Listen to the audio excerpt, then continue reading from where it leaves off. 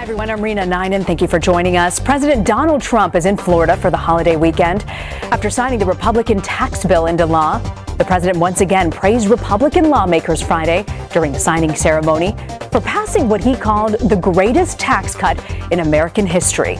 Although polls show the tax plan is unpopular, the president predicts Americans will warm up to it without much of a sales pitch. I don't think we're going to have to do much selling. I think the corporations that are giving billions and billions of dollars away to their workers, and many more are coming, I think that's really what's selling this, maybe better than anybody could, including myself.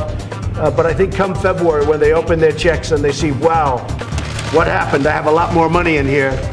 I think that's really going to be something very special. President Trump just spent some time speaking to American troops overseas this holiday. He spoke to members of each military branch via teleconference from his Mar-a-Lago property in Florida, applauding them for their service and wishing them a Merry Christmas. The president is also getting some golfing in over the weekend, and later he'll be participating in a call with NORAD, the Air Force command that tracks Santa on Christmas Eve. And over in the U.S., Defense Secretary James Mattis says the best way for America to avoid war is if its troops are, quote, ready to go. Speaking to soldiers on Friday, he said U.S. diplomats rely on the military's preparedness, which allows them to speak with authority in negotiations. Won Jung-han with the details. Storm clouds are gathering over the Korean peninsula, U.S. Defense Secretary Jim Mattis said on Friday. Mattis was speaking to soldiers and airmen at the 82nd Airborne Division's Hall of Heroes in North Carolina as part of his holiday tour of bases to greet troops. He didn't go so far as to predict armed conflict, but he said America will have the best chance of preventing one if its words are backed up by a strong military.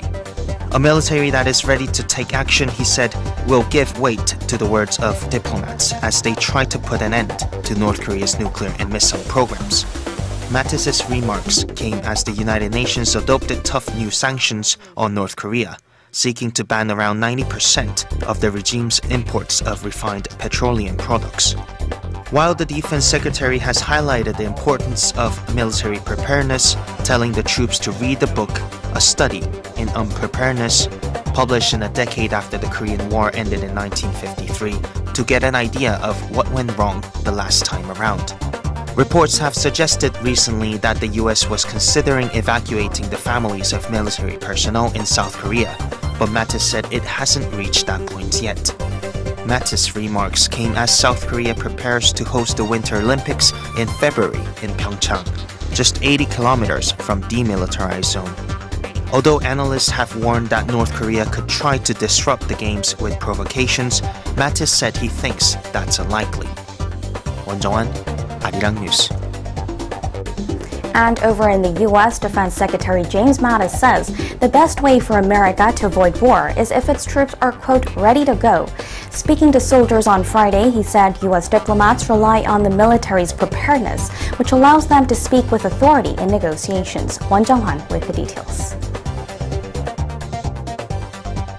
Storm clouds are gathering over the Korean peninsula, U.S. Defense Secretary Jim Mattis said on Friday. Mattis was speaking to soldiers and airmen at the 82nd Airborne Division's Hall of Heroes in North Carolina as part of his holiday tour of bases to greet troops. He didn't go so far as to predict armed conflict, but he said America will have the best chance of preventing one if its words are backed up by a strong military. A military that is ready to take action, he said, will give weight to the words of diplomats as they try to put an end to North Korea's nuclear and missile programs. Mattis's remarks came as the United Nations adopted tough new sanctions on North Korea, seeking to ban around 90% of the regime's imports of refined petroleum products. While the defense secretary has highlighted the importance of military preparedness, telling the troops to read the book A Study in Unpreparedness, published in a decade after the Korean War ended in 1953, to get an idea of what went wrong the last time around. Reports have suggested recently that the US was considering evacuating the families of military personnel in South Korea, but Mattis said it hasn't reached that point yet. Mattis' remarks came as South Korea prepares to host the Winter Olympics in February in Pyeongchang, just 80 kilometers from demilitarized zone. Although analysts have warned that North Korea could try to disrupt the games with provocations, Mattis said he thinks that's unlikely. 원정 환, 아리랑 뉴스. Well, North Korea has described the latest series of UN-imposed sanctions as, quote, an act of war. That's according to the regime's state-run news agency. It reported on Sunday that their foreign ministry says the new sanctions are a complete economic blockade against the country.